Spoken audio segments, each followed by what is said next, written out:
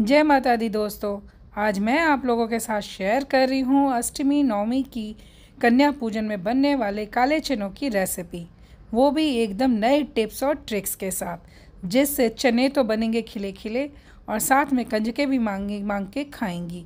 तो time waste किए बिना वीडियो शुरू करते हैं। लेट्स सी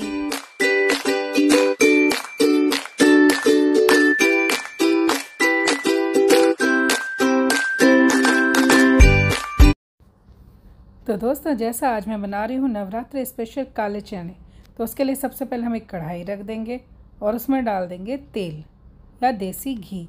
इसे गर्म होने देंगे। जब तेल अच्छे से गर्म हो जाएगा तो इसमें हम डाल देंगे साबुत जीरा और साथ में डाल देंगे हींग। और जब ये दोनों चटकने लगेंगे अच्छे से तो इसमें हम डाल देंगे एक बड़ा टमाटर कटा हुआ और साथ में दो तीन हरी मिर्ची जिनको मैंने कट कर रखा है, इन सबको। और अब इसमें साथ में ही डालेंगे हम कुछ मसाले। तो दोस्तों, जितने मैं इनमें मसाले डालती हूँ, आप लोगों से रिक्वेस्ट है कि वीडियो ज़रा भी यूज़फुल लग रही हो तो प्लीज़ शेयर कर दीजिएगा।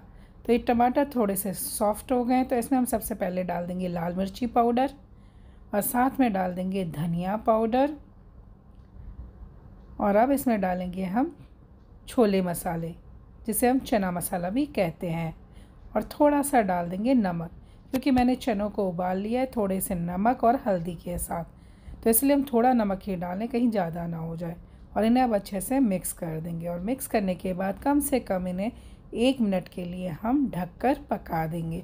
तो जितने ये मसाले और टमाटर पकते हैं, मैं आपको चने दिखा देती हूँ कि वो कितने अच्छे से गल चुके हैं। तो फ्रेंड्स, आपको दिख रहा होगा कि हमारे चने बिल्कुल अच्छे से गल चुके हैं, जिन्हें मैंने रात को भिगोया था और सुबह इनमें दो तीन सीटियाँ लगा दी हैं जब तक ये गल गए हैं। तो अब मैं आपको दिखाती हूँ कि हमारे टमाटर भी बहुत अच्छे से गले हैं या नहीं। तो अभी टमाटर थोड़े खड़े लग रहे हैं तो ये जो चने वाला पानी है थोड़ा सा पानी हम इसमें डाल देंगे और इसे चला देंगे टमाटरों को और मसालों को।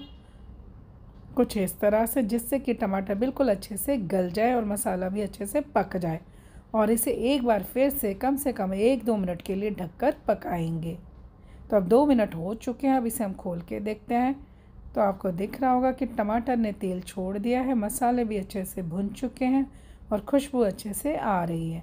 तो यहाँ मैं आपको एक टिप्स देना चाहूँगी कि इसमें आप इस टाइम थोड़ी सी डाल दें कसूरी मेथी।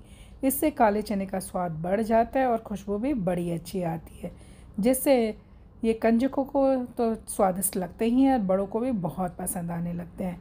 और अब ये जो हमारे पास उबले हुए चने हैं, उन्हें हम डाल देंगे इस टमाटर में। तो ये मैंने डाल दिए हैं सारे टमाटर के अंदर।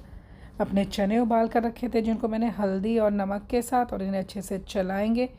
और कम से कम इसे हम पाँच मिनट तक तो ऐसे ही चलाते हुए पकाएँगे और उसके बाद इसे हम ढक कर पकाएँगे कम से कम दस मिनट के लिए, जा जब तक कि इनका पानी सूख ना जाए।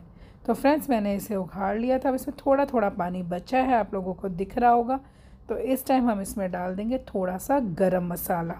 और गरम मसाला डालकर एक बार फिर से चलाएँगे और चनों को थोड़ा सा हम चमचे से दबा देंगे। और अब हमारे चनों का जो पानी है वो बिल्कुल ख़त्म हो गया है। बबल्स बहुत छोटे छोटे आपको दिख रहे होंगे। तो इस टाइम हम गैस को कर देंगे बंद और इसके ऊपर एक मुट्ठी भर कर डाल देंगे हरा धनिया। और हरा धनिया डालने के बाद कम से कम पंद्रह मिनट के लिए ऐसे ही ढककर रख देंगे। तो पंद्रह मिनट के बाद मैंने इसको डाल दिया था इस बड़े बाउल के अंदर। पंद्रह मिनट रखने से यह हुआ कि जो थोड़ा बहुत पानी था इसके अंदर चनों में वो आपस में इन्होंने पी लिया और हमारे चने एकदम सॉफ्ट अंदर से और बाहर से खिले खिले बन के तैयार हुए हैं। तो दोस्तों, मेरे तो कंजक स्पेशल काले चने बन के हो गए हैं तैयार।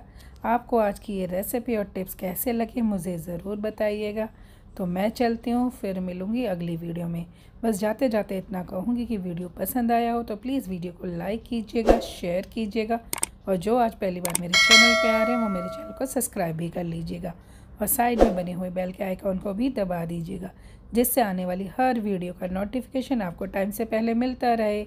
जय माता दी दोस्तों।